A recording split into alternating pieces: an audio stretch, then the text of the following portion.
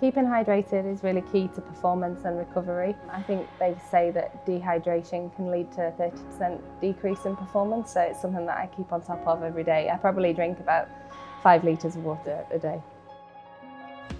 Nutrition is part of my job. I have to think about what I'm eating. Fueling my body correctly is really important. So I'm actually a vegetarian, so I need to make sure that my protein intake is really good. I supplement that with drinks, but also beans and cheeses and pulses.